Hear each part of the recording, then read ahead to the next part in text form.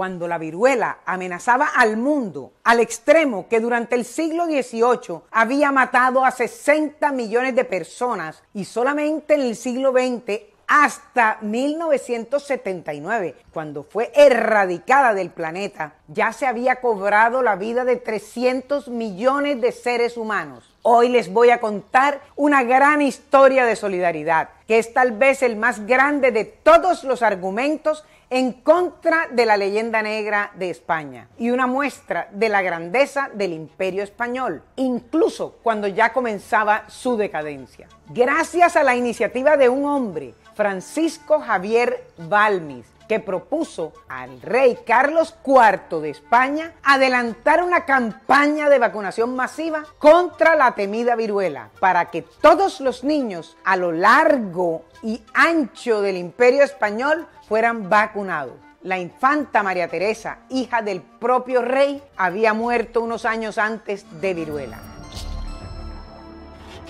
Esto es Historias de Adelina y yo soy Adelina Cobo.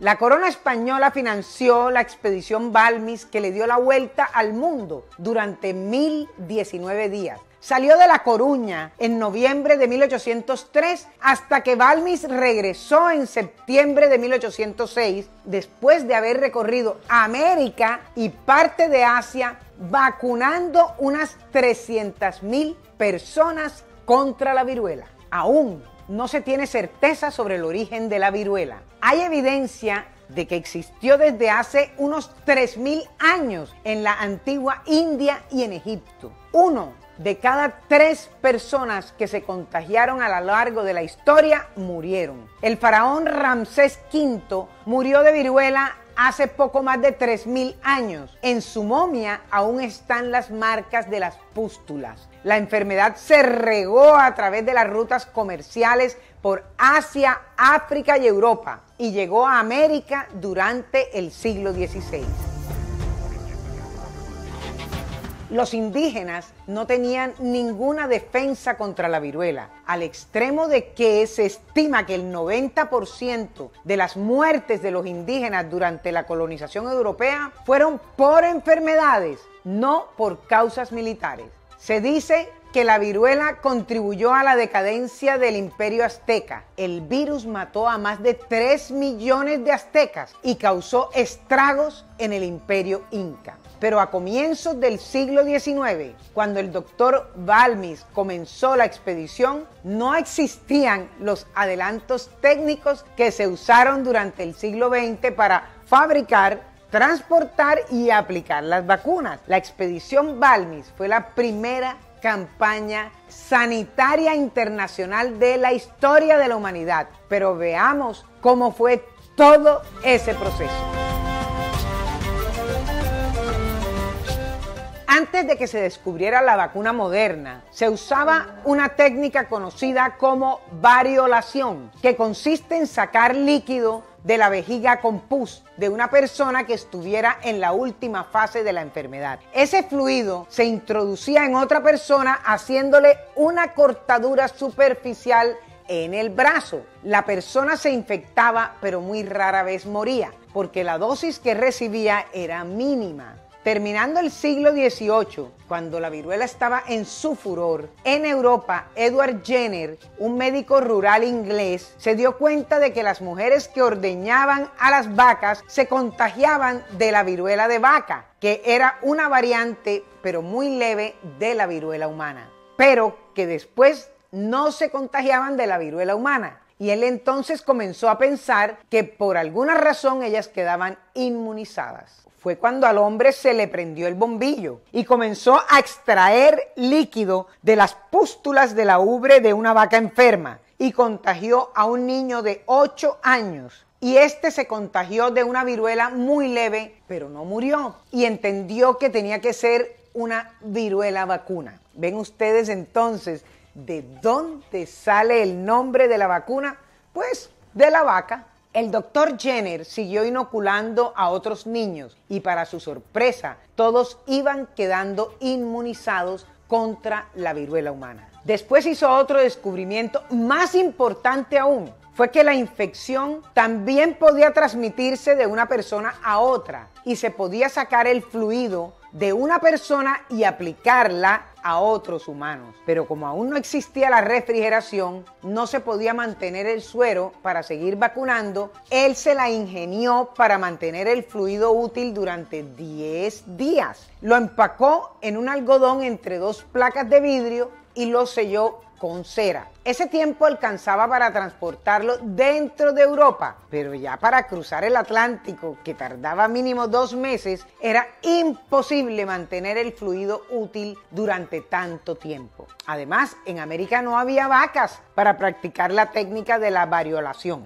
Y era hasta América a donde Balmis quería llevar la vacuna y ya lo apoyaba el propio rey Carlos IV. Miren ustedes, la vacuna llegó a España en 1800, solamente cuatro años después de descubierta en Inglaterra. Balmis era médico de la corte y él tradujo al español el libro que describía el procedimiento para vacunar, que era de un autor francés. Solo cinco años después de la publicación oficial del descubrimiento de la vacuna, en 1803, ya estaba saliendo la expedición para llevar la vacuna por todo el imperio. Pero no era solo vacunar, también había que capacitar médicos y enfermeras e instaurar las juntas de vacunación en todas las ciudades para garantizar así la conservación de la vacuna y continuar vacunando a los que fueran naciendo. En 1805 se ordenó que en todos los hospitales de las colonias de ultramar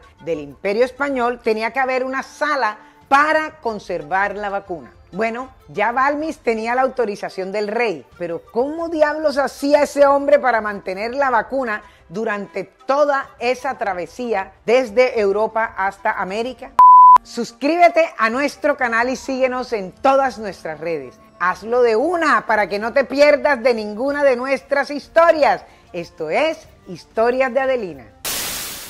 Miren ustedes lo ingenioso que fue el doctor Balmis. Él sabía que era muy difícil encontrar voluntarios, pero tengan en cuenta que en esa época no existía el concepto de derechos humanos que es tan importante hoy, por lo que escogió a 22 niños huérfanos o expósitos, que son esos niños abandonados por sus padres al nacer, que tenían entre 3 y 9 años de edad. Al zarpar en la embarcación iban el doctor Balmis, dos médicos asistentes, dos prácticos, tres enfermeras e Isabel Sendal, que era la directora del orfanato de niños expósitos de La Coruña. Y los 22 niños expósitos, que no todos eran de la misma institución, ninguno de ellos podía haber estado antes contagiado. Isabel se embarcó, pero no quiso mandar a los niños solos sin ella, obviamente. Y hasta se llevó consigo a Benito, a su propio hijo. Y así fue pasando la enfermedad de dos en dos cada nueve o diez días. Los niños recibieron todos los cuidados. Solamente uno de ellos murió durante la travesía, pero ninguno regresó después a España. Se había determinado que esos 22 niños serían muy bien tratados, mantenidos y educados hasta que se mantuvieran por sí mismos. Pero, como era una época de exclusión, decía literalmente,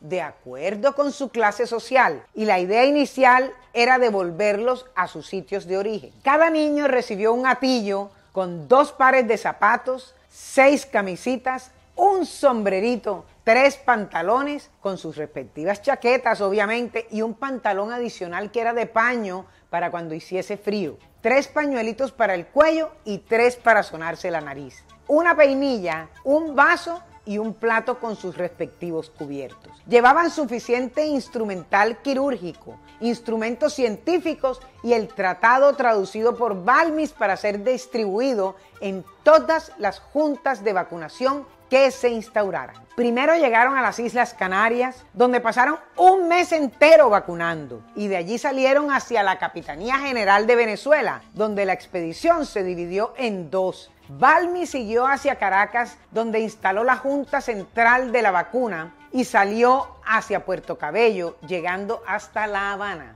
José Salvani, que era el segundo cirujano, continuó hasta la Nueva Granada, los actuales Colombia, Ecuador y Panamá, entrando por Cartagena y llegó hasta el Virreinato del Perú, que son los actuales Perú, Bolivia y Chile. Salvani duró siete años recorriendo el territorio y tal fue el esfuerzo que el hombre terminó tan extenuado que murió en Cochabamba, la actual Bolivia, en 1810. O sea que la expedición no duró solamente tres años. Cuando Balmis llegó a La Habana, el médico cubano Tomás Romay, pionero de la medicina en la isla, se encargó de todo, por lo que lo único que tuvo que hacer fue instaurar la Junta de Vacunación. En 1805, el equipo de la expedición llegó al Virreinato de Nueva España, que es el actual México instauró sus juntas de vacunación en Veracruz, Ciudad de México, Puebla, Guadalajara, Querétaro, Guanajuato, San Luis de Potosí y Oaxaca, entre muchas otras poblaciones. Allá llegó el doctor Balmis, escogió a otros 26 niños para mantener la vacuna útil durante toda la travesía del Océano Pacífico a bordo del galeón de Manila zarparon desde Acapulco y llegaron hasta Manila, en la Capitanía General de Filipinas, el 15 de abril de 1805. Allá recibieron un apoyo muy importante de la iglesia para vacunar a los indígenas. Cuatro años después, en 1809, la mayor parte de la expedición regresó a Acapulco, pero Balmis insistió en continuar y llegó hasta la China, vacunando e instaurando juntas en varias ciudades hasta llegar a Cantón y siguió hasta Macao. Isabel y su hijo Benito nunca regresaron a España, se quedaron en Puebla, que era una ciudad muy importante en la Nueva España aunque hay rumores que nunca han sido confirmados sobre los que especula Javier Moro en su novela sobre la expedición que Balmis estaba enamorado de Isabel, pero que ésta se quedó supuestamente porque estaba muy enamorada de nadie menos que del obispo de Puebla y que fueron muy felices, aunque lo más seguro es que sea una fantasía creada igualita a la del virrey Solís. Terminada la expedición en 1806, Balmis regresó a España donde fue recibido como un héroe, colmado de honores y el rey lo nombró como su médico personal. Pero cuando Napoleón invadió España, le cortaron todos los recursos a Balmis para continuar con sus proyectos de salud y comenzó a enfermar, aunque siguió trabajando como médico hasta que murió en 1819.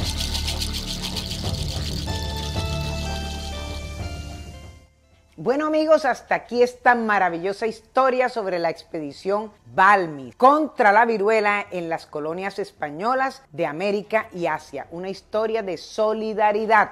Uno de los varios ejemplos sobre la grandeza del imperio español y el mayor caso de filantropía universal de esa época. Ahora te pregunto, ¿Qué opinas sobre este grandioso proyecto, teniendo en cuenta que la viruela fue durante tres milenios la peor de todas las plagas de la humanidad? Queremos conocer tu opinión abajo en los comentarios. Si te gustó esta historia, dale like, haz clic en la campanita para que sepas cuando subimos cada nuevo video. Al final te dejo dos videos de nuestro canal. Ah, y si es que aún no te has suscrito, lo puedes hacer haciendo clic en la bolita del centro. Hasta pronto.